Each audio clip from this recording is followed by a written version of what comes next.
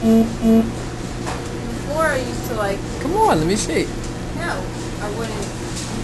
Like if I was working all day, like I wouldn't be here when I wasn't like. Just cause like, I don't know, I literally haven't eaten in like eight weeks. Not a lot of like. You don't get dizzy? Like blood sugar attacks? You never got that? Sometimes I used to have to shake.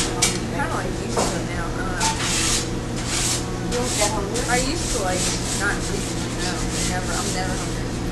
I used to like seriously. I'm Yeah, trying to really talk annoying. here. Taking a, taking a video? No one's gonna want to watch this. Stop it.